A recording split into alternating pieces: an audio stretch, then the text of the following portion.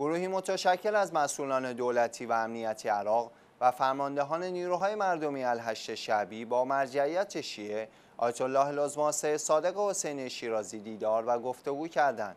مرجعیت شیعه ضمن توصیه به صبر و شکیبایی در راه سامان دادن به اوضاع کشور عراق فرمودند. عراق به عزم و اراده جدی همگان برای برطرف کردن نابسامانی ها نیاز دارد. عراق و ملت مظلومان نیازمند توجه است.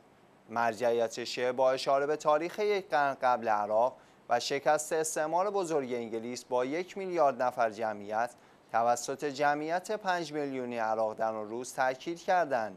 سزاوانی است که ملت عراق در وضعیت موجود روزگار سپری کند و همگان در حد توان و در حد مسئولیت خود باید بکوشند و ملتی را که حدود یک قرن تحت ستم و سرکوب همه جانبه قرار داشته است برهانند آیت الله لزمان شیرازی افزودند جوانمردان، اندیشمندان و صاحبان از و اراده باید در حد توان دست به دست هم داده و کشور و ملت عراق را از وضعیتی که در آن گرفتار شده است نجات دهند.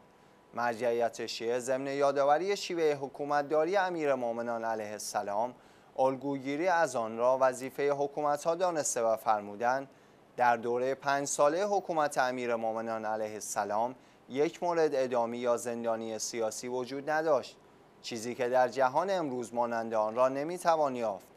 همچنین در تاریخ جایی ثبت نشده است که آن حضرت یک وجب زمین را فروخته باشند چرا که زمین از آن دولت ها نیست و دولت ها وظیفه مدیریت دارند.